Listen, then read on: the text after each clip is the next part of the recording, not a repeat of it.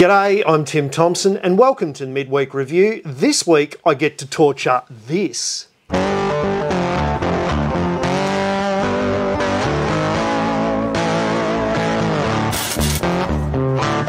It's the EcoFlow 1600 Max and it's a lithium ion NCM battery pack with its own charge controller and all that sort of stuff. You can charge it from the wall, you can charge it from a generator, you can charge it from solar panels. You could probably rub your legs together in rayon pants and charge it. They tell me that this thing is a bit of a beast. In fact, it can power up to 3000 watt appliances. Let's get started by using this for a few jobs around the house that are quite mundane and normal and slowly ramp things up until we make it beg for mercy. Don't forget guys, hit the subscribe button, give it a thumbs up. Now let's get into the review. Okay, so what do you get? Well, around this side we have our four outlets for 240 volt. That's impressive. We've also got a single 12 volt outlet in case you want to run a car fridge, a couple of DC outputs, and you've got your charging inputs as well as your breaker, which I'm hoping will activate later on. Around your other side, you've got your LCD display and your plethora of millennial charging devices with your USB fast and slow, two of each, two USB-Cs, and an off button in case things start getting hot. Finally, on the reverse side, there are two extra battery inputs, so if you're rich enough to buy a couple of these, you can join them together and really get serious. And of course, last but not least, there's the accessory pack. You get instructions, you get a 240 volt wall charger, solar panel leads, car charger, you can charge this while you're driving in the car, and a DC thing. And some lollies. They're not lollies, they're dangerous, don't eat them, it was a joke. So now I guess all we have to do is plug this thing in, wait 65 minutes, and it should be 80% charged.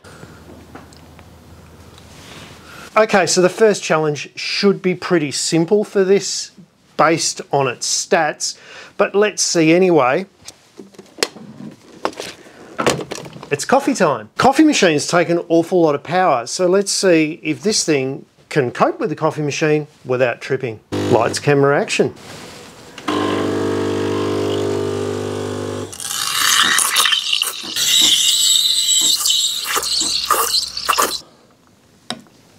I don't know about you, but I love reviews that involve coffee. Thank you. So maybe that was a bit too easy. This handled it without a problem.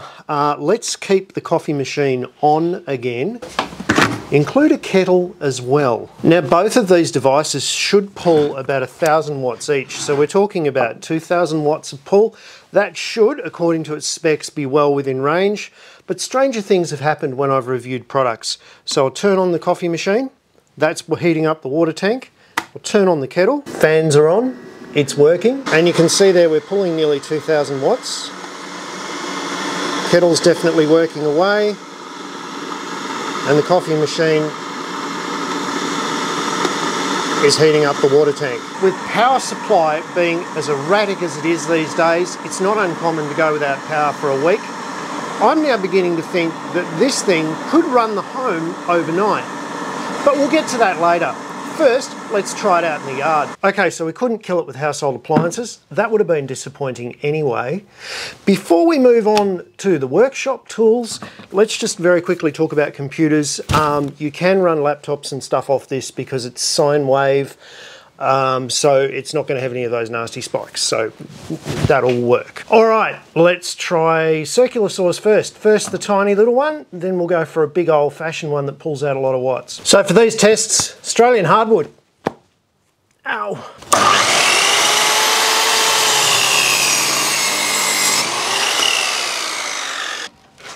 Time we go old school.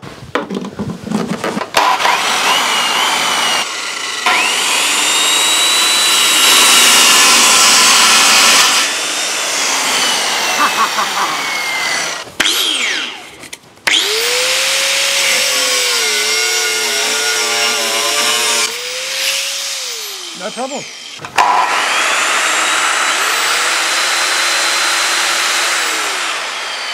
does both at once too. Okay, so while these results are really good for the EcoFlow, um, it's kind of bad for me because nothing exciting has happened yet.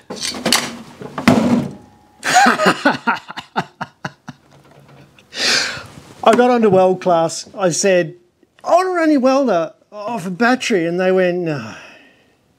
And then they went, hang on. And then they went, maybe? And then I said, will it hurt the welder? And they said, probably not. I said, will it hurt the battery? And they said, maybe. Let's find out. Now it's really important to point out, Tim Thompson Media does not recommend that you run the 175 MST, which is a professional grade MIG, TIG, arc welder, off an EcoFlow Delta Max 1600 because for many welding applications the numbers don't add up um, and it's not good practice to run these batteries at full whack because if you do it for an extended period of time you will damage them. However, however, hold that thought because Weldclass may just have something in the pipeline that will work with batteries. Right now, I just want to know if the emergency cutout works. What better way to find out? Now remember, I'm being stupid, so you don't have to. Don't do this at home.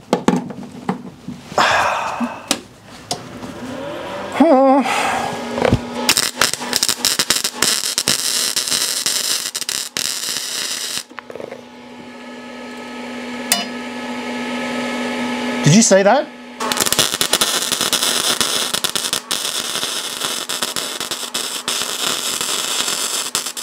The fans have turned on. That's the worst that's happened. I am...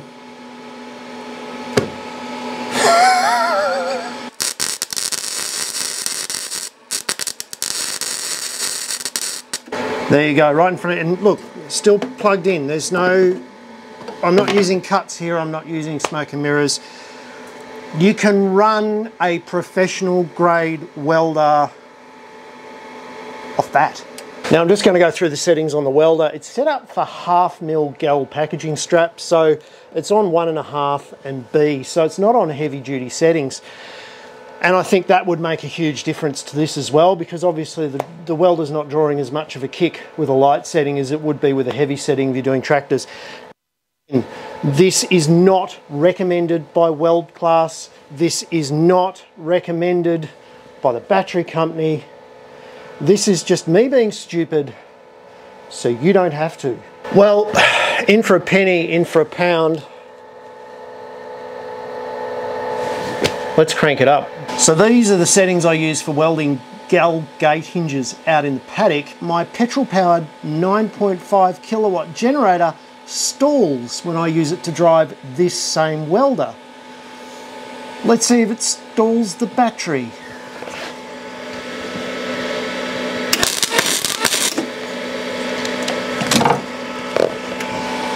Yep. Okay, so I managed to kill it. But all it did was throw the safety. So there you go. You can easily overload it with a big welder if you put it on high settings. But if you're stuck and you're off grid and you've only got to do light stuff, it'll cope. And if you go up too high with the settings, it'll just shut down and be quite safe. I'm in love with this battery. Okay, so next test. This is my bore pump. It's down around 70 or 80 feet. It's a couple of horsepower and it's fed by a 240 volt in just over there at the old well. So we'll plug the EcoFlow in. We'll set the bore pump to run the vineyard for a half hour cycle and then we'll come back in half an hour. We'll see A, if it could run the vineyard, and B, how much power it's sucked. The one thing I have done is I've given him a little hat um, because batteries don't like getting too hot. So will the EcoFlow run a bore pump? Well, I've got some water here that says yes. Uh, it's running the whole vineyard. Uh, it's pulling about 1650, 1700 watts out of the out of the unit. The fan's coming on and off sporadically, so that would indicate that it's not being stressed, it's just maintaining temperature. I've set this vineyard to go on for half an hour, so what we're also going to do is go back and see how much juice gets sucked out of the battery after half an hour running a couple of horsepower bore pump to irrigate an entire vineyard.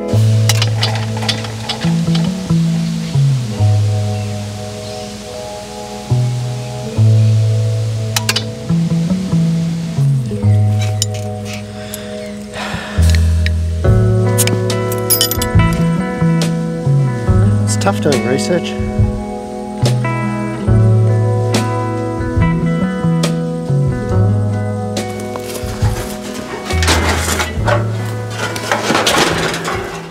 Okay, half an hour's up.